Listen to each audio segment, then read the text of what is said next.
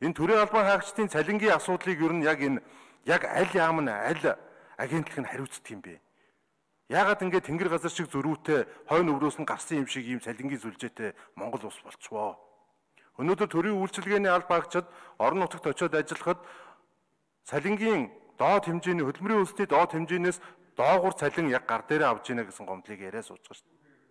Тэгэхээр энэ сая Баатар үлэг гүшүүний хэлж байгаа төрийн албан хаагчдын энэ нийгмийн халамж хамгааллын асуудал дээр би бас дөрөв танараас асууж лээсэн. Хэн энэний талаар дуурдаг байх юм бэ?